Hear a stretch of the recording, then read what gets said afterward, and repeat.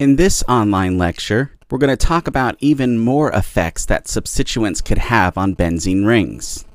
Before you watch this lecture, you should definitely watch Substituent Effects on Benzene Rings Parts 1 through 3.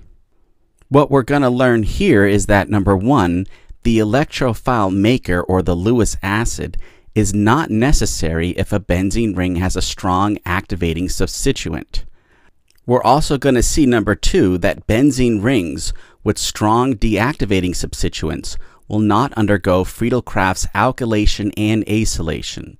And we're also going to see three benzene rings with basic substituents, such as an amino group, will also not undergo a Friedel-Crafts alkylation and acylation. So let's explain these key points. Let's say you have this molecule right here, and you're going to react Br2 and FeBr3. Well, first, let's make some observations here.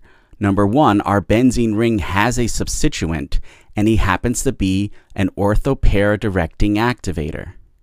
And we're reacting Br2, which remember is the pre-electrophile. And underneath the arrow here, the FeBr3 is the electrophile maker.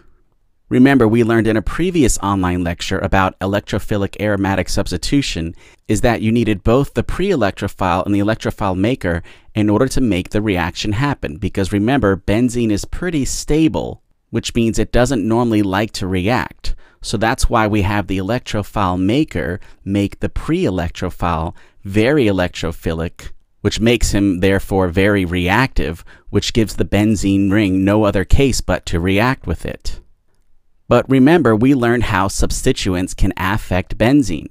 And in this case, remember, since we have an ortho-para-directing activator substituent, the activator part, remember, means that the substituent makes benzene more reactive.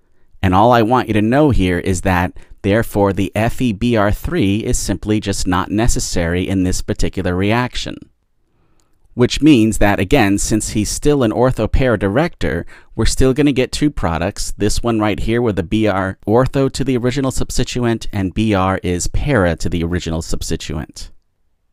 Now, the only reason why this is important is because if you saw this on your Orgo exam, you're not going to think that this is some different reaction just because you don't see the FeBr3. You're just going to know that this is acceptable.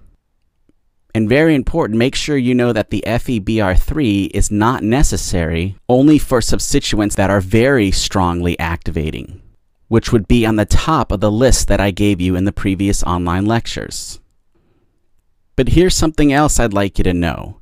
If you happen to use FeBr3, then it makes this reaction even more likely to happen, which means you're going to end up with this as a product.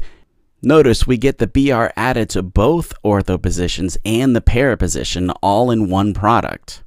So you could almost think of this as almost overreacting. Now, here's the second point that we need to make in this online lecture. Remember, we learned in a previous online lecture that Friedel-Crafts alkylation had a certain number of limitations. And in that previous online lecture, we only talked about three. But I'd like you to add to that list. I'd like you to add here number four. The fourth limitation is that under Friedel-Crafts alkylation, the reaction will not take place with deactivated rings. And here's what this means. If you have a benzene ring with a very strong electron withdrawing group, such as NO2, and you try to perform Friedel-Crafts alkylation with, remember, CH3Cl and AlCl3, no reaction occurs. Just think of it this way the Friedel-Crafts alkylation reaction is very sensitive. It doesn't always get the best yield. So adding a strong electron withdrawing group on a benzene ring makes, remember, benzene less reactive, and in this case, not reactive enough to perform a Friedel-Crafts alkylation. Now, you might be wondering, well, which substituents are involved here? Well, any of the meta-directing deactivators, such as NO2, if you're on your Orgo exam and you see a meta-directing deactivator, member group 3 of the substituents on a benzene ring, and a Friedel-Crafts alkylation is being attempted, then remember, no reaction.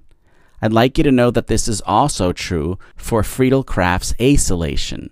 Again, you will get no reaction if you have a strong electron withdrawing group on your benzene ring.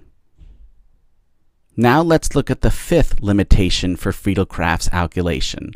Number five is the reaction will not take place with basic substituents. Notice our benzene ring has an amino group here, which happens to be basic. Again, trying to perform this reaction, you're not going to get a product. And let's make sure we know why.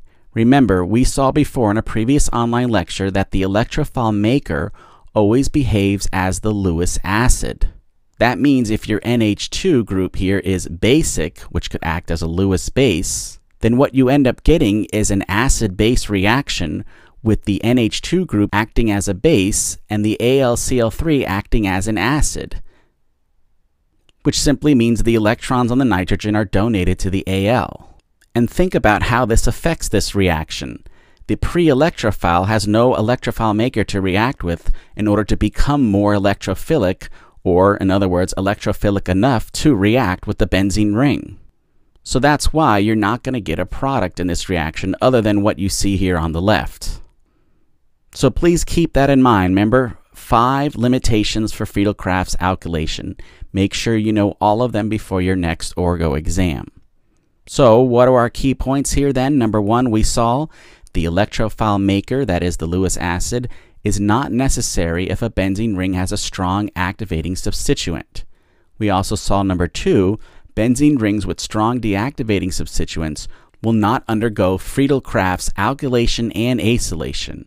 And the last point we saw here is that benzene rings with basic substituents, such as an amino group, will not only not undergo Friedel-Crafts alkylation like we saw, but I'd also like you to know that includes Friedel-Crafts acylation as well.